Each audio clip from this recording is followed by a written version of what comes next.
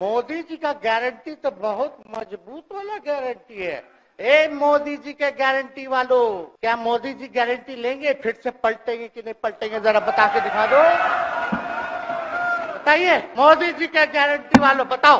बताइए, पलटेंगे कि नहीं पलटेंगे मोदी जी का गारंटी अरे, कब्जा छुड़वाने चले थे, अब तो खुद ही कब्जा इन पे हो गया। बात में दम है। बात में दम है कब्जा आप ही पे हो गया। तो इस बात का नहीं है कि हम लोग विपक्ष में आ गए हमको तो खुशी है कि उन सत्रह महीनों में जो देश में किसी सरकार ने नहीं किया, उसको हमारी महागठबंधन सरकार ने करने का काम किया।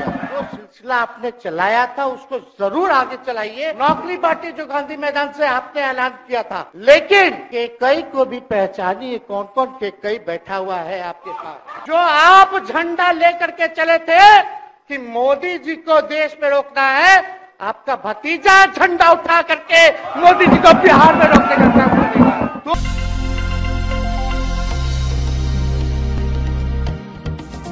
भाजपा जो है इनकी माँ। भाजपा पार्टी जो है माँ। लेकिन हम तो कहना चाहते हैं आरजेडी ना आपकी माँ हुई ओरिजिनल तो आप तो पहले हमारे दल में ही थे। आपके दल में नहीं अच्छा चलिए, ठीक। है चलिए, कोई बात नहीं, आप अस्वीकार कीजिए, लेकिन जनता तो इस बात को जानती है। हमें खुशी है कि साथ में दो दो डिप्टी सीएम बने और विजय सिन्हा जी भी डिप्टी सीएम बने। स्पीकर पद पे भी रह लिए, नेता विरोधी दल भी रह लिए और डिप्टी सीएम भी रह लिए। इन्होंने भी इतिहास रच दिया। एक टर्म में तीन तीन पद इन्होंने भी पा लिया तो ये आप सोचे थे कि नहीं विजय बाबू? अरे आपके दिमाग में आया था कि आप एक टर्म में, एक टर्म में स्पीकर भी, डिप्टी सीएम भी और नेता विरोधी दल भी आप बन गए। तो इसके लिए आप तीनों लोगों को विशेष तौर पे हम बधाई देना चाहते हैं। माननीय मुख्यमंत्री जी हमारे लिए आदरणीय थे, है और हमेशा रहेंगे। हम इनकी इज़्ज़त हमेशा करते आए हैं और करते रहेंगे। और हम तो कई बार इनके नेतृत्व में काम करने का मौका मिला और हम लोगों ने काम किया मिलकर के। इसमें कोई दो राय नहीं आगे हम सारी बात को भी हम अपने सम, आप लोगों के समक्ष जो है रखने का काम करेंगे। अब कई बार माननीय मुख्यमंत्री जी जो हैं इस बात को बोलते रहे कि तुम मेरा बेटा जैसा हो। कई बार बोलते हैं। और हम भी अपना मानते हैं अपने गार्जियन मानते हैं। और आप लोग भगवान राम की चर्चा करते हैं। हम आप सबके मन में तो राम है ही। शांति शांति। लेकिन एक बात समझना पड़ेगा। हम तो नीतीश जी को एक दशरथ जो पिता है उनके रूप में वैसा गार्जियन मानते हैं। कि भाई, कई बार जो है, इन्होंने कई बार आप लोगों के सामने भी बोला आप तो यही करेगा, यही आगे बढ़ेगा। तो चलिए, नौजवान लोग ना आगे बढ़ेगा, आगे काम करेगा। लेकिन कई बार मजबूरियाँ रही होंगी इनकी, जैसे दशरथ की मजबूरी थी, राजा दशरथ की, कि राम को जो है वनवास जो है भेज दिया गया। लेकिन उस बात को हम मानते हैं कि हम वनवास नहीं आए हैं, बल्कि हमको इन्होंने भेजा है जनता के बीच उनके सुख और दुख के भागीदार बने। पहले बार ये अपने से दूर किए, वो भी क्या मजबूरियाँ रही, हमको नहीं पता। ना आपको पता, किसी को नहीं पता क्या मजबूरियाँ रही। लेकिन इन्होंने जब पहली बार जब दूर किया तो एक ही बात निकल के आया। क्या बात निकल के आया? कि आप जो है एक्सप्लेन कर दीजिए। आपके ऊपर जो है मुकदमा है, केस है। जब दोबारा जब इन्होंने अपनाने का काम किया तो इन्होंने कहा कि सब बीजेपी वाला सब फंसाने का काम करता है ईडी और सीबीआई लगा देने का काम करता है। देखिए, हम तो आपको इज़्ज़त देते हैं और आगे भी देते रहेंगे लेकिन ये बात समझना पड़ेगा। और बिहार की जनता ये जानना चाहती है कि आखिर ऐसा क्या कारण है कि आप कभी इधर रहते हैं कभी उधर रहते हैं? ये तो सब लोग जानना चाहता है सब लोग की इच्छा। है आखिर क्या ऐसा हो गया कि आपको ये निर्णय लेना पड़ा? 2020 का हम लोग चुनाव जीत करके आए मात्र बेमानी के बाद 12,000 का डिफरेंस था पूरे महागठबंधन और एनडीए में। आप क्यों छोड़ के आए?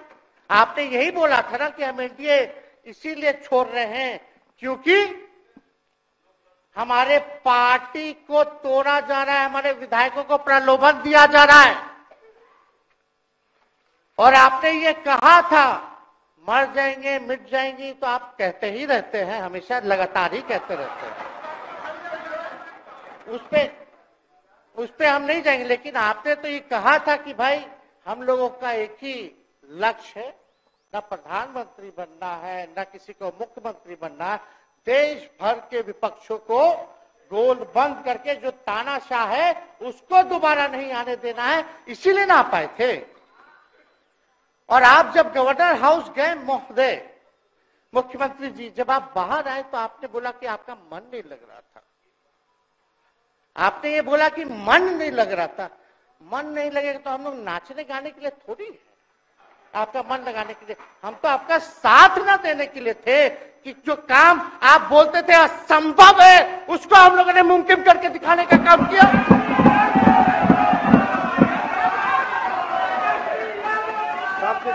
आपने 2020 के चुनाव में क्या कहा था? झूठ मत बोलिएगा, देखिए हम आप लोग से उम्र में छोटे अपने बाप के पास से लाएगा, जेल से पैसा लाएगा, नौकरी बांटेगा। और संभव है।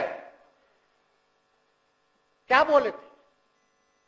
और हमने उस समय चुनाव के दौरान रोज़गार पर, विशेष तौर पे हमने बोला था, हमने साइंटिफिक अध्ययन किया, रिक्त पदे हैं, इतनी इतनी है, उसको हम लोग जो है भरने का काम करेंगे। हमको दुख इस बात का नहीं है कि हम लोग विपक्ष में आ गए, हमको तो खुशी है कि उन सत्रह महीनों में जो देश में किसी सरकार ने नहीं किया, उसको हमारी महागठबंधन सरकार ने करने का काम किया। आप बताइए, आपको याद होगा, जब आप बीजेपी को धोखा देना चाह रहे थे, हम तो नहीं आना आपके साथ आना चाहते थे, ये बात हम आपको कहे भी थे।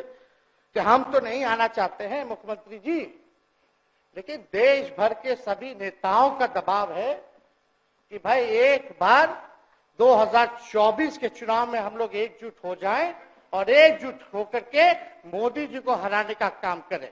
तब हमने क्या कहा था मुख्यमंत्री जी? याद है? विजय जी है आप भी सामने। हम कहते, मुख्यमंत्री जी, हम सरकार में नहीं आएँगे हम बाहर रह करके आपको समर्थन देंगे और आपके सरकार को कोई खतरा नहीं होगा। आप चलाइए सरकार। निफिकर होकर के चलाइए, क्योंकि हम लोगों का भी लक्ष्य है कि भाजपा को देश से भगाने का काम करे, उस सांप्रदायिक शक्तियों को, जो विचारधारा है, जो समाज में जहर बोने का काम करती है, उसको हम लोग भगाने का काम करें। इसीलिए ना हम लोग एक साथ आए थे। और तो कोई कारण नहीं था।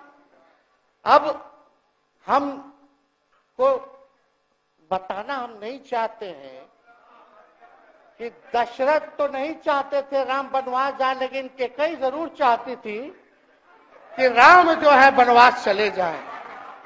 मुख्यमंत्री जी, आप हमको बेटा कहे हैं, हम चाहते हैं कि आप लंबी उम्र रहिए और जो सिलसिला आपने चलाया था उसको ज़रूर आगे चलाइए, उसमें हमारा समर्थन रहेगा, रोज़गार बांटिए। नौकरी बांटिए जो गांधी मैदान से आपने ऐलान किया था। लेकिन के कई को भी पहचानिए कौन कौन के कई बैठा हुआ है आपके साथ। सम्राट चौधरी जी पगड़ी पहनते हैं, फालतू एक पहनते हैं, उतारने का बात करते हैं ये सब करो फ़िल्म का शूटिंग चल रहा है, महोदय। अब बाँध लिए पगड़ी, चलो आओ मैदान में। आप खोलिएगा। अरे हम कोई गलत बात नहीं है, सुन लो यार। नवीन जी सुनिए ना पथ निर्माण मिल जाए बहुत कृपा होगी आप आगे काम कीजिएगा। बैठिए ना।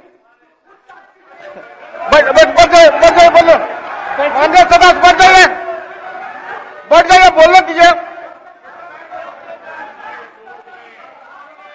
तो उपाध्यक्ष महोदय। बोलो दीजिए बैठिए आप लोग शांति से बैठिए। आपके आप जब बोलिएगा इधर से नहीं कोई बोलेगा आप शांति से बनाए रखिए। हमें विश्वास है कि हमारे एक और चाचा विजेंद्र जी बैठे हैं यहाँ। हमको ज़रूर लगता कि इन्होंने ज़रूर सलाह दी होगी सम्राट चौधरी जी को पगड़ी उतार लो। दिए कि नहीं दिए? आप तो हमको सलाह देते थे, हमको पता है, आपके मन में भी पीड़ा है, दर्द है। लेकिन आप एकदम अपने नेता के साथ जो निर्णय है, उसी में लेते हैं। लेकिन नेता तो निर्णय लेते हैं, साथ देना चाहिए, लेकिन कभी कोई सलाह और एक स्टैंड भी लेना चाहिए कि कोई गलत निर्णय ना हो। इससे नेता का ही नुकसान होगा। इससे नेता का ही नुकसान होगा तो इस बात की तो हमको चिंता रहेगी। अभी सम्राट चौधरी जी क्या क्या बोलते थे उस पर हम नहीं जाना चाहेंगे। लेकिन सम्राट चौधरी जी के पिता भी हमारे दल में रहे हैं, और उनका शब्द मुख्यमंत्री जी के लिए क्या क्या रहा है वो हम यहाँ नहीं बताना चाहते आपके भी दिल में है, आपके भी कान में है, आप लोगों के भी होश में है। और पूरा बिहार बच्चा बच्चा से पूछ लीजिए कि हम हम कोई ऐसा बोल सुन लीजिए ना। अरे, सुन तो लो भाई। किसी भी बिहार में बच्चा बच्चा से पूछ लीजिए कि क्या होने जाएगा। नीतीश जी पे भरोसा है कि नहीं है? वो क्या क्या शब्द का प्रयोग करेगी जो हम लेना नहीं चाहते। और मोदी जी का गारंटी तो बहुत मज़बूत वाला गारंटी है। ए, मोदी जी के गारंटी वालों, क्या मोदी जी गारंटी लेंगे, फिर से पलटेंगे कि नहीं पलटेंगे, जरा बता के दिखा दो। बताइए, मोदी जी के गारंटी वालों, बताओ। बताइए, पलटेंगे कि नहीं पलटेंगे मोदी जी का गारंटी खैर, हमको इसकी चिंता नहीं है। विजय सम्राट चौधरी जी, विजय सिन्हा जी जब जहाँ चेयर पे थे, व्याकुल मत होइए। खूब जोड़ी है आप लोगों का, कमाल का, लगे रहिए।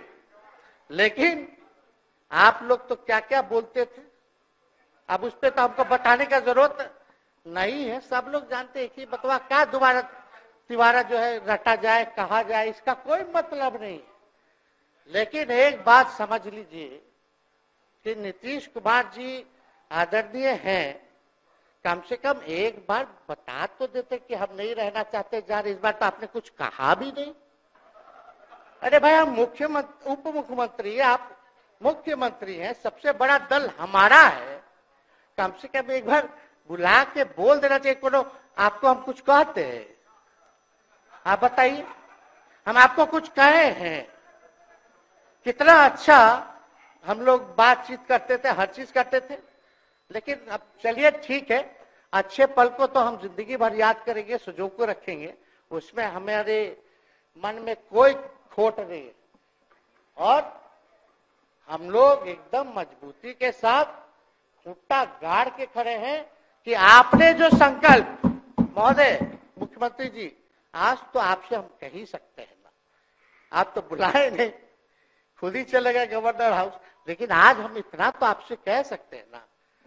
इतना बात तो कह सकते थे कि आप बुला लेते, हम लोग बात कर लेते, नहीं है, ठीक है तो उसका भी व्यवस्था कर देते। अगर हमारे सरकार से, हमारे मंत्रियों से दिक्कत है तो फिर से बाहर से समर्थन दे देते और कोई माई का लाल हिला देता उस सरकार को। मन में शंका मत पालिएगा। जब हमने आपसे कमिटमेंट कर दिया था तो मन में कभी भी शंका आपके मन में भी हम बोलते थे कोई कंफ्यूजन होगा तो बुला करके बात कर लीजिए दूर कर लीजिए। क्यों? क्योंकि हम आपको अपना परिवार समझते हैं। हम लोग समाजवादी परिवार के हैं मुख्यमंत्री जी। और इसको ध्यान में रखना चाहिए विजेंद्र जी विजय जी सब लोग को बात रखना चाहिए। और हम कहना चाहते हैं जो आप झंडा लेकर के चले थे कि मोदी जी को देश में रोकना है, आपका भतीजा झंडा उठा करके मोदी जी को बिहार में रोकने का काम करेगा ये कोई ये कोई पहली बार नहीं है। ये कोई पहली बार नहीं है, मुख्यमंत्री जी, जो आप लोगों के साथ हम लड़ रहे हैं अकेले। हमारे साथ कांग्रेस है, माले है। महागठबंधन हम लोगों ने बनाया था 2020 में। और 20 में तो क्या रिज़ल्ट हुआ था? उसी का ना पीड़ा आज मुख्यमंत्री जी का कि तीसरी नंबर का पार्टी हो गया। और चर्चा तो बाज़ार में भी चल रहा है। आप मुख्यमंत्री जी, एक और पूरी बिहार की जनता मीडिया के साथ ही। है अरे कब्जा छुड़वाने चले थे, अब तो खुद ही कब्जा इन पे हो गया अब देख लीजिए लेकिन ले, मीडिया जितने मीडिया के लोग हैं अरे कब्जा ना हो गया है। हाँ आप लोगों पर कुछ लिखने देगा कुछ बोलने देगा। तो अब तो कब्जा आप ही पे हो गया है। खैर, जो भी अमित शाह जी कहते रहे, हमारा तो दरवाज़ा बंद है। खैर, उनका क्या, उनके बात में दम है। बात में दम है। खैर, हम लोग जो कहते हैं, वो करते हैं, और हम लोगों ने सत्रह महीने काम कर करके दिखाने का काम किया है।